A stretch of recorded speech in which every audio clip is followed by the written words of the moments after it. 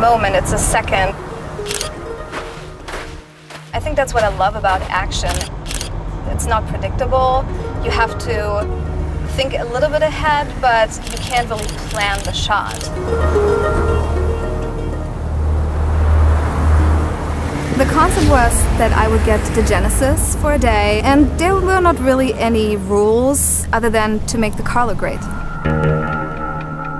So we're almost at the location and we're supposed to meet Rhys right around here.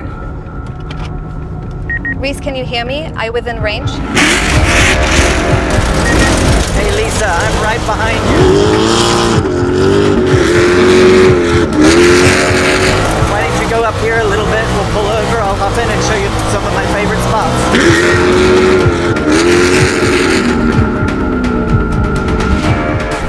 Exactly are you looking for as far as a direction and a, a background, and then maybe that'll help me figure out what I can do with the car. Yeah, I mean, I'm looking for two things. One thing, a good area where we can drift the car through the sand, and then another shot with like cool landscape around it, which okay. um, would look great. So we have about 20, 30 minutes till sunset. I want to get the dust flying. Awesome. Can we do it the other way? When the sun gets lower and lower, just use the last light and get a little bit more action. Could we do the same thing but further away from camera? I think backlit you see a lot of the dust, which I like. So it's like the car is pretty dark and you see these like running lights. Yes. Driver's side, sharp turn. Copy that, driver's side, sharp turn. That looks great. Let's do that one more time. Driver's side, right hand turn. Could we do the same thing but further away from camera? That looked really great. Let's do that one more time. Copy that. Moving up. Trying to get a wide shot. Let's just keep going if you can. That was great. Maybe do another turn. Yes, one more time. One of the things that I can do as a driver here to help Lisa get that sweet shot is more steering input. So right now I crank in the steering, get that roost flying, little lift, little go again, and really set up that dramatic shot to make her look good.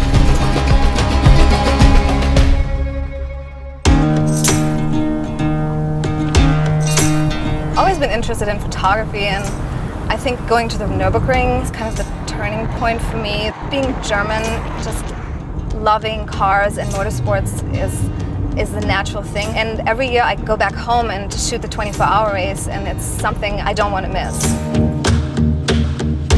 So I have the Genesis with me and it's beautiful. I mean just seeing it and seeing the front and the grille and just the, the headlights, it's really luxurious and it has the comfort aspect, but you can drift it through the sand. So this morning, the light was just perfect for the red paint.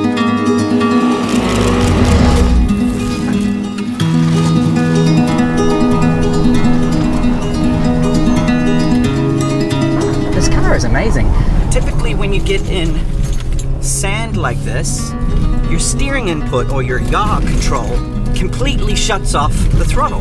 Well, the GV80 doesn't do that, and for a driver, that's a dream come true. This is pretty impressive. I want to have like a drift, okay. and I'm going to shoot a wide shot where you see more of the sand dunes in the background and a tight version of that too.